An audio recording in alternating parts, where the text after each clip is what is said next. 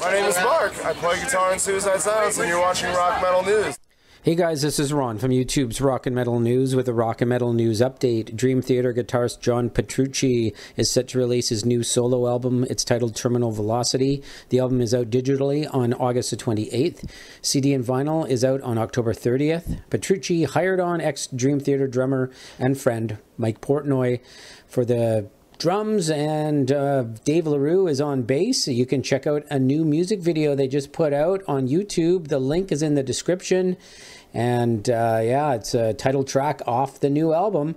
And pre orders are up. You can check out the pre order link in the description as well. This is Ron from YouTube's Rock and Metal News. Thanks for tuning in.